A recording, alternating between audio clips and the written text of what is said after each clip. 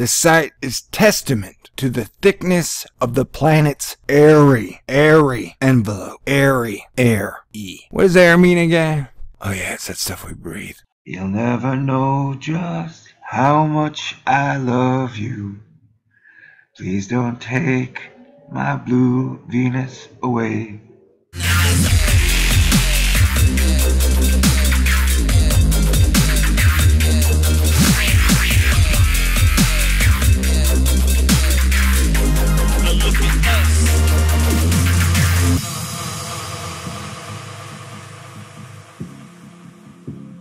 Stay cool.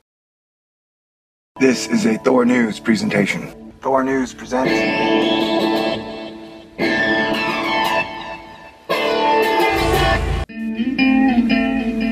Okay, honestly, I don't even know what to say anymore. Uh oh, they're coming to get me. Stop that man from talking about Venus. I ain't crazy. I'm sciencing for sure. You know, how come I keep looking at Venus, going, that's a lot like Earth, saying, wow, that's a whole lot like Earth. But then I guess Venus is Earth's twin. Except for the fact that we have an atmosphere you can skydive in, breathe in, make love under the stars, go hang gliding, fly a kite, play a volleyball. And if you were on Venus in a bikini, you would instantly be consumed by searing pain and acid. And then your head would explode. And you might be like, hey man, why don't we have a lot of pictures and photographs and rovers and orbiters and GoPro cameras on Venus? And well, I believe the official answer is that Venus is like a black hole. Anything that even gets close to it gets destroyed. So we can't even put orbiting satellites outside of Venus to take a lot of cool pictures and stuff because uh, it just gets sucked into its black hole acid atmosphere and then it totally gets destroyed and taxpayer money is wasted. And there is nothing, there is nothing that hurts a space agency more than wasting taxpayer dollars and not returning some good, hard science for their money. Yeah, we sure don't know a lot about Venus. After all these years, Venus is still a total mystery.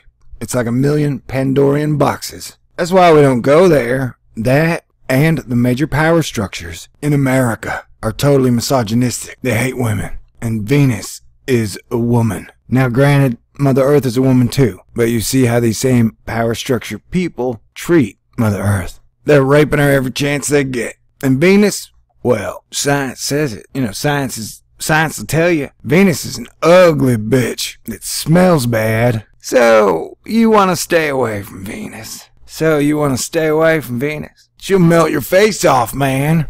If you had an impeccable soul in the Indiana Jones scene where they opened the ark and everybody's face melted off, would your face melt off if you looked at the ark? Is Venus the ark? Wait, what? Okay, yeah, so the reason I'm bringing this up again is because all these crazy photographs of Venus keep popping up on spaceweather.com, one of my favorite sites on the interwebs for amateur astronomer based photographs and information. And all these photographs I see of Venus, now that technology's catching up with the pros, like, hey dude, something feels weird. I got a weird feeling. Why do I get this bad, weird feeling?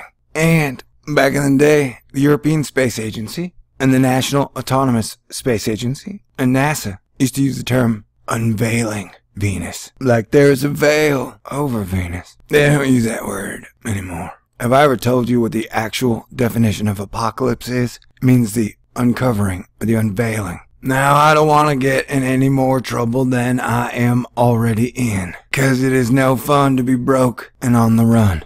I'm just saying Venus is weird. The attitude towards Venus is weird. Everything's weird though, really. It's a weird ass world right now. So what is happening in Hollywood? Nobody knows. The worst thing to call somebody is crazy, is dismissive.